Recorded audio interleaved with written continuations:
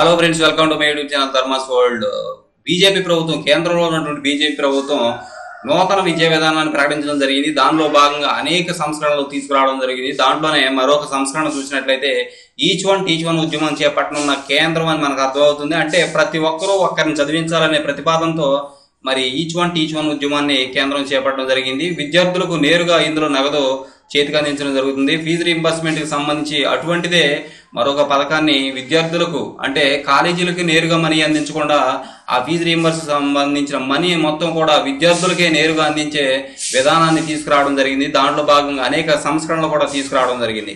ఎటువంటి దేశంలో అత్యున్నత విద్యా సంస్థల్లో ఫీజు రీంబర్స్మెంట్ బదులుగా విద్యార్థులకు నేరుగా నగదు బదిలీ పథకాన్ని వర్తింపజేయాలని కేంద్ర ప్రభుత్వం యోచిస్తుంది.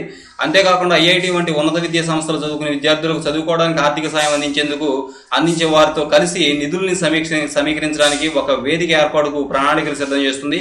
ఈచ్ వన్ టీచ్ వన్ ప్రతి ఒక్కరూ ఒక్కరిని చదివించాలనే నినాదంతో జాతీయ స్థాయిలో ఒక ఉద్యమాన్ని లేవనెత్తడం మరి లేవనెత్తడం కోసం ప్రతిపాదన సిద్ధం చేస్తుంది. ఈచ్ వన్ టీచ్ వన్ ధనిక వర్గాలను ఒక్కొక్క కుటుంబం ఒక నిరుపేద విద్యార్థికి చదివి చదివించడానికి ముందుకు రావాలని కేంద్రం పిలుపుని ఇవ్వనుంది. ఈ విధ ఈ విధానంలో ఎలాంటి అవగాహనలు తావలేకుండా ఇచ్చిన డబ్బులు వృధా కాకుండా ఒక డిజిటల్ ప్లాట్ఫామ్ను ఏర్పాటు చేయనుంది.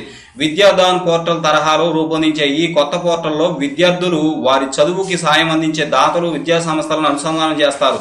మొత్తం మీద ఇరవై ఐదు వేల కోట్ల నిధులను సమీకరిస్తారు. వీటిని పూర్తి పారదర్శకంగా ఖర్చు చేయడానికి అన్ని జాగ్రత్తలు తీసుకోనున్నారు. పది లక్షల మందికి పైగా లబ్ధి చేకూరుతుంది. ఈ సిఫార్సుల్ని మానవ వనరుల అభివృద్ధి మంత్రిత్వ శాఖకు చెందిన నిపుణులతో కూడిన పది గ్రూప్ పది గ్రూపులు మేధోమదనం నిర్వహించి రూపొందించారు. ఉన్నత విద్యా వ్యవస్థను ప్రక్షాళన కోసం వచ్చే ఐదేళ్ళలో ఏ ఏ నిర్ణయాలు తీసుకోవాలో ప్రతిపాదన ప్రతిపాదన చేశారు. ఈ గ్రూపులకు పలువురు ప్రముఖులు నేతృత్వం వహిస్తారు. ఇకపోతే మరి దీంట్లో సిఫార్సులు ఏమున్నాయి? ఫీజు రీంబర్స్మెంట్కి బదులుగా విద్యార్థులు బ్యాంకు అకౌంట్లకి నేరుగా నగదు బదిలీ చేయబడతాయి. ఇతర విద్యార్థులకు రుణాలు మంజూరు చేయాలి. విద్యార్థులను అంటే ఇతర అంటే ఎవరికైతే ఫీజు రీంబర్స్మెంట్ రాదో వాళ్ళకి ఆ ఆ విద్యార్థులకు రుణాలు మంజూరు చేయాలి. అలాగే ఆర్థిక సహకారం. ముందు విద్యార్థులను చదివించడానికి ముందుకు వచ్చే వారికి వారు అందించే ఆర్థిక సహకారంపై ఆదాయ పన్ను మినహాయింపు కల్పించాలి. ఐఐటి సహా దేశవ్యాప్తంగా అన్ని విద్యా సంస్థలు దాతృత్వ కార్యక్రమ కార్యకలాప కార్యాలయాలు ఏర్పాటు ఏర్పాటు చేస్తారు. అలాగే పదహారు లక్షల మంది బీసీ విద్యార్థుల కోసం ఎనిమిది వేల హాస్టళ్ళు నిర్మిస్తారు. దూర విద్య ద్వారా విద్యను అభ్యసించే ఎస్సీ ఎస్టీ విద్యార్థులకు ఫీజులో యాభై శాతం రాయితీ ఇస్తారు. అలాగే ప్రభుత్వ ప్రైవేటు భాగస్వామ్యంతో యా ఐదు వందల వృత్తి విద్య డిగ్రీ కళాశాలలు ఏర్పాటు చేస్తారు. అలాగే ప్రపంచస్థాయి ప్రమాణాల కోసం ఎంపిక చేసిన నలభై నుంచి యాభై విద్యా సంస్థలకు స్వతంత్ర ప్రతిపత్తిస్తారు అలాగే విద్యార్థుల పరిశోధనలకు ఆర్థిక సహకారం కోసం ఫౌండేషన్ కూడా ఏర్పాటు చేయడం జరిగింది. ఇది teach one each one teach one ఉద్యమం దా- ద్వారా చేపట్టే సిఫా కార్యక్రమాలు అలాగే ధనికులందరూ కూడా మరి ఒక్కొక్క విద్యార్థిని పేద విద్యార్థులను మరి తీసుకొని వాళ్ళందరికీ కూడా మరి విద్యా బుద్ధులు నేర్పించాల్సిందిగా ఈ యొక్క ఉద్యమం యొక్క మరి పరమార్థమై ఉంది.